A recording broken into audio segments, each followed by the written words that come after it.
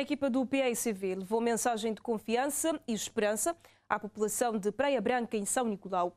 O partido quer implementar na localidade projetos a nível da mobilização de água para a agricultura e criação de gado. A reportagem com Loriane Spencer e Nélio dos Santos.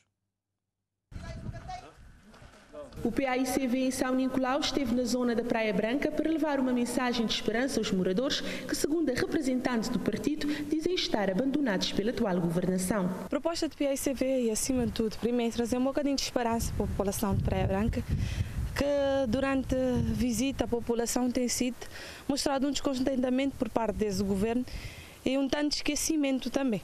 Mas nós, além de esperança, não está a trazer projetos concretos, tendo em conta que tudo o que, é que está na Praia Branca é marca viva de governação de, de PICV.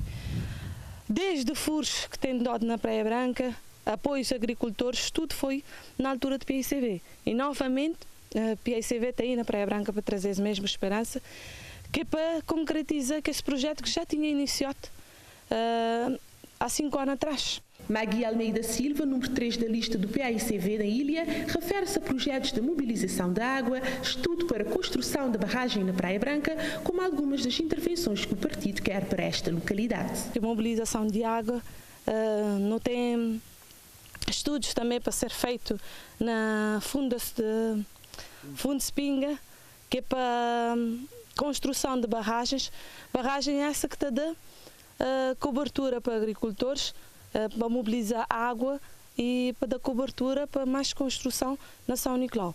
Mas isso que está a ficar somente assim, porque quando botem produção, agricultores está a ficar somente responsabilidade da produção, está criado um outro instituição, uma outra cooperativa que está a buscar a mesma distribuição, a mesma produção, desculpa, dos agricultores para fazer escoamento desses produtos. Além das questões ligadas ao setor da agricultura nesta localidade, o Partido Africano da Independência de Cabo Verde tem como prioridades a resolução de problemas ligados à criação de gado.